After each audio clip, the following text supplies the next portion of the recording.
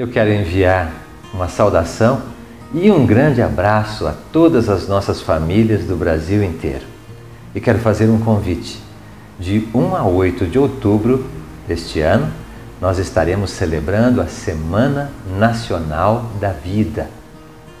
A Semana Nacional da Vida tem a finalidade de nos fazer acordar para esse grande dom de Deus que é a vida que Ele nos deu e que muitas vezes é ameaçada ameaçada de muitas maneiras. E eu queria oferecer para você esse, esse, essa preciosidade. É um subsídio que fala exatamente sobre a vida e a maneira como a gente deve fazer para defender a vida. O tema deste ano é o Evangelho da Vida. O Evangelho da Vida, que deve ser anunciado, deve ser celebrado e a vida deve ser ser vida, especialmente aquela vida mais precária, aquela que sofre mais, aquela que precisa mais de apoio, de proteção.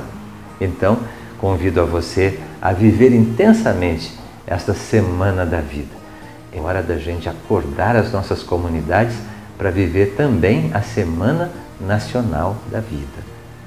De 1 a 8 de outubro. E no dia 8, a celebração do Dia do Nascituro o dia do nascituro, aquele que vai nascer, a vida que vai vir a, ao mundo e que precisa de modo especial ser defendida.